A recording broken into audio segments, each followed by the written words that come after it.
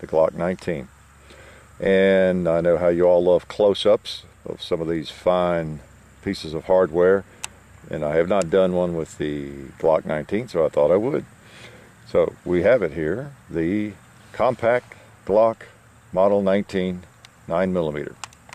Midway between the Glock 26, the subcompact, and the bigger one, the Glock 17, the first Glock. So uh, perfect size gun. Uh, I, I, won't say most people, but uh, people who collect Glocks or Glock aficionados and have a lot of Glocks, most of them, uh, I would say, have a Glock 19 or two. So this is it. It is the one. It has some bullets in it right now. Take those out. Most of us are familiar with how they operate. I'm not going to make this a Glock lesson, but let's just do a little reminder how simple they are. If you're coming to Glock channel here, USA for the first time, you know, they're just a marvel of engineering. And uh, many of us already know that. That's why we're interested in them and why we shoot them so much. The grip weighs about, uh, feels like about a half an ounce when you get everything off of it. That simple, the field strip. Glock 19, 9 by 19 uh, beautiful piece. Now this one happens to be uh, one that uh, was shipped last spring. This is uh, my son's Glock 19.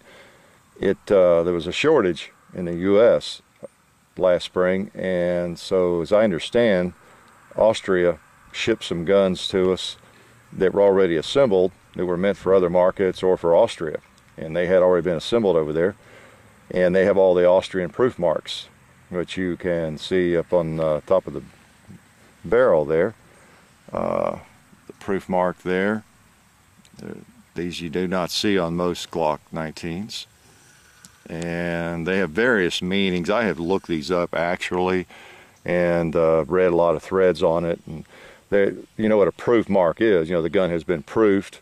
As I understand from some of my reading that uh, these were proofed in Vienna. One of the markings indicates it was proofed by uh, the folks in Vienna under a, a really hot load let's see, I get my serial number covered. There's another mark right there. You can see, and then on the frame over here, uh, and uh, this little spot right there indicates uh, made in Austria. And the, these letters here under my above my thumb, as I understand it, it's just some mumbo jumbo indicating hey, it's kind of a legality indicating that the Glock is a some kind of company covering the liability or something. You know, there's uh, various uh, stories on that as well.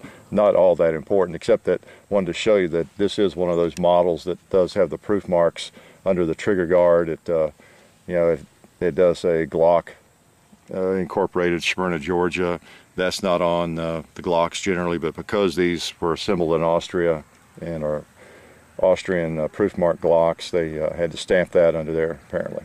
Okay, so it's one of those. You've read about them. If you're a Glock fan, and you've uh, visited uh, Glock Talk, you've you read those threads and everything. Some people think they're extremely uh, collectible, and others say, nah, not so much. Uh, and kind of interesting. You know, someone might pay an extra 20 bucks for one if they're looking for a Glock 19 just for the novelty of it. But anyway, there was a shortage, and uh, I think that shortage is uh, pretty much over with now. So, Glock 19, 9 millimeter let's put uh, some of these bullets back in it. I might just take a couple of little shots. As you can see, I'm not going to try to astound anybody with any great shooting here, but uh, just some close-ups of the gun, close-ups of uh, bullets coming out. Let's see, let's shoot that old pumpkin there a couple times. And let's see if we can hit that Shoot-N-C target.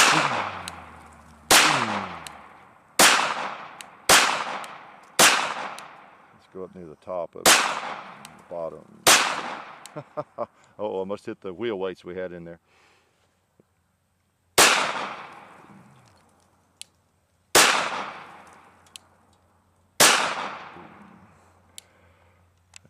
And let's hit that pumpkin again. Let's see if we can sight through the camera a little bit here. Sun's kind of in my eyes, but I think I can see the sights a little bit there.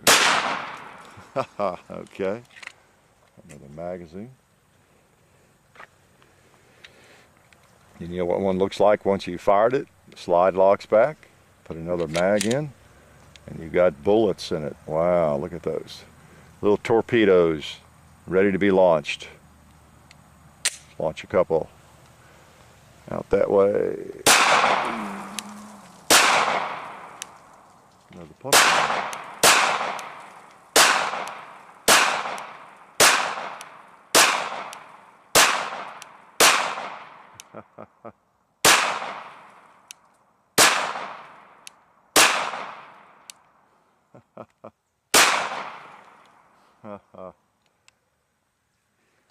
Cans are kind of neat to shoot because they uh, they take us back, I think, to the old days when we were younger, and at least when I was younger, and we loved to shoot cans.